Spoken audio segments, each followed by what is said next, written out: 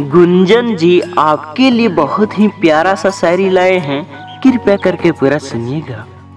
गुंजन जी, आग लगी दिल में जब वो खपा हुए। कि गुंजन जी, आग लगी दिल में जब वो खपा हुए, एहसास हुआ तब, जब वो जुदा हुए, करके वो फा वो हमें कुछ दे न सके।